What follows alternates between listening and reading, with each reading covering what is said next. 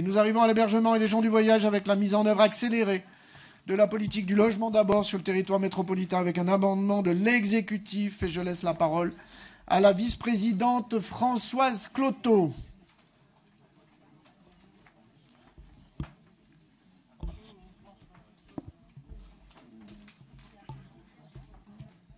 Je vous invite à me demander la... Voilà, très bien. Bonjour à tous.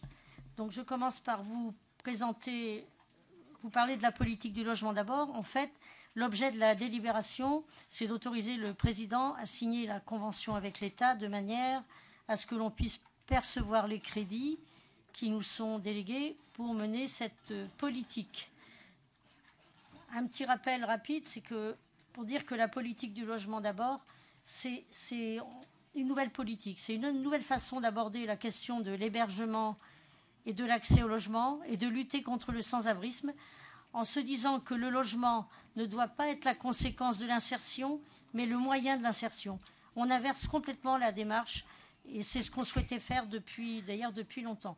Donc, dans un contexte de tension fort en matière d'hébergement et de logement, nous conduisons déjà une politique de l'habitat ambitieuse qui a pour objectif d'améliorer l'accès au logement des personnes les plus en difficulté, tout particulièrement au, travers de notre programme local de l'habitat, de la conférence intercommunale du logement ou du plan partenarial de gestion des demandes de logements sociaux et d'information des demandeurs, et encore de la convention intercommunale d'attribution. Je précise que nous présentons cette délibération à deux, c'est-à-dire que euh, à la fois il s'agit d'intervenir au niveau de l'intervention dans le cadre de la convention intercommunale et aussi de capter des logements, euh, logements sociaux supplémentaires. Et là, c'est du domaine de la compétence de Christine Garnier qui pourra compléter après ma présentation si elle le souhaite.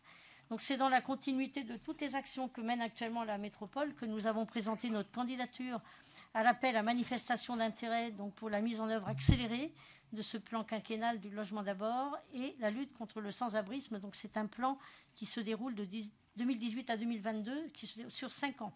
Notre candidature a été retenue. Voilà. Nous étions euh, fortement soutenus par tous les acteurs locaux qui œuvrent dans, le, dans ce domaine de l'hébergement et de l'accès euh, au logement. Et euh, également, l'État nous a soutenus dans notre démarche et le département s'est engagé sur le droit commun, c'est-à-dire le, FSL, le Fonds de solidarité logement. Donc au-delà de la pertinence du changement de logique que j'ai évoqué au début, hein, confirmé par tous ces, acteurs, euh, la démarche suppose de faire évoluer les modes de faire autour de plusieurs enjeux. Et certains sont importants puisque depuis au moins le début de ce mandat, nous en parlons régulièrement. C'est enfin de pouvoir construire la gouvernance d'une politique globale logement, hébergement d'insertion dans le cadre de la conférence intercommunale du logement qui est co-animée avec l'État. Réussir à fédérer tous les acteurs concernés aussi du logement, de l'hébergement, de l'action sociale, de l'insertion professionnelle et de la santé. On, englobe absolument la totalité des problématiques. Simplifier les circuits d'orientation et de décision et améliorer la lisibilité des dispositifs pour les professionnels et pour les personnes apporter aux propriétaires bailleurs la sécurisation indispensable, évidemment, hein, c'est la contrepartie, à leur engagement actif dans la démarche pour la mise en place d'une plateforme d'accompagnement pluridisciplinaire et adaptée aux besoins des personnes. C'était essentiellement pour la mise en place de cette plateforme que nous avons une aide de, l'État. Et enfin, permettre la participation des personnes concernées dans la mise en œuvre des dispositifs. On pense notamment au travail pair et améliorer la connaissance des besoins par le croisement et le partage des observations existantes. Voilà. je crois que euh, ce qu'il faut dire, c'est vraiment euh, euh, ce que nous souhaitons depuis longtemps, en fait, c'est qu'il n'y ait plus de trou dans la raquette entre les différents acteurs qui interviennent sur ce, sur ce champ-là, qu'à la fois les données soient partagées et qu'à la fois tout le monde intervienne, non pas en se réfugiant derrière systématiquement derrière sa compétence, c'est pas nous, c'est lui, c'est voilà. L'idéal, enfin l'idéal, c'est que maintenant on puisse travailler ensemble et voir ce qu'on peut faire ensemble de manière à ce qu'il n'y ait pas d'oubliés et, de manière à lutter contre, à réussir à vaincre le sans-abrisme. Donc la métropole doit conventionner avec l'État sur ces actions qui vont bénéficier de, crédits support. il y a un amendement sur cette délibération. l'amendement, l'amendement, l'amendement, je présente maintenant, hein, l'amendement euh, concerne les questions de l'accompagnement, en fait, qui était peut-être insuffisamment précisé dans la délibération. Donc au sixième paragraphe, on vous propose d'ajouter la réussite totale de ces objectifs ambitieux. Alors ça, c'est ce qui existe déjà, fondé sur une réelle volonté de mieux répondre aux besoins des plus fragiles, tout en organisant l'équilibre social du territoire métropolitain, repose sur une implication de tous les acteurs locaux. On ajoute à la suite l'un des éléments indispensables à la réussite du logement d'abord est la mise en place d'un accompagnement souple, pluridisciplinaire et centré sur les besoins de la personne. Cet accompagnement est à construire dans le cadre d'un partenariat actif et pérenne entre les différents professionnels concernés.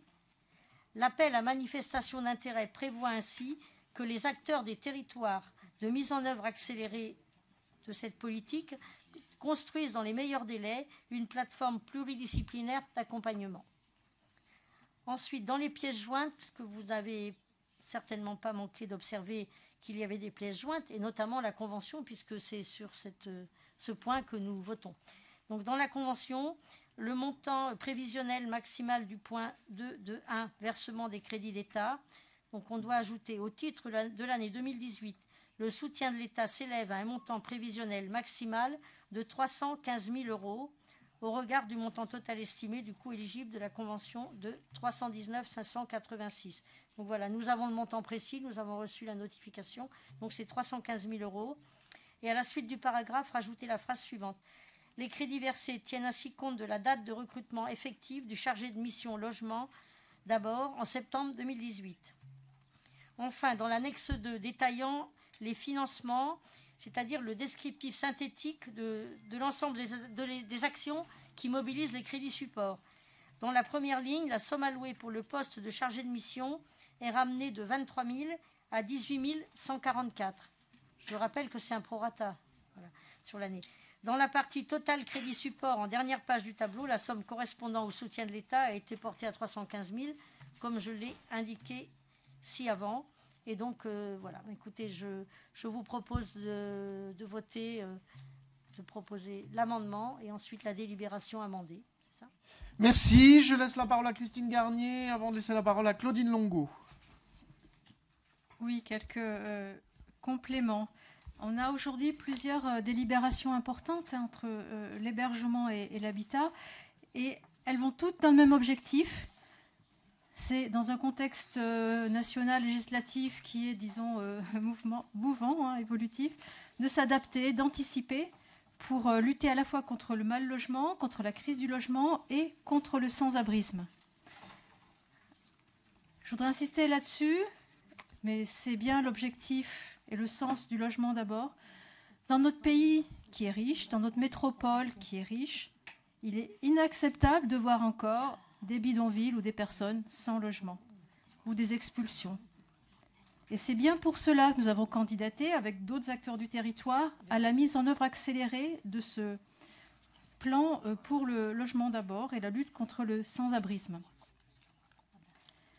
Par ailleurs, nous avons candidaté, mais euh, il faut que ça soit euh, clair pour nous, le fait de pouvoir aller pour un ménage directement dans le logement et donc d'améliorer cette question de, l'hébergement ou du, logement, il ne faudrait pas que ce soit euh, une raison, un prétexte pour réduire les places en établissement d'hébergement.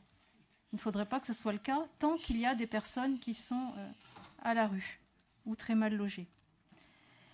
Logement d'abord, c'est euh, un, beau principe et c'est aussi un principe efficace. Françoise Cloto l'a dit.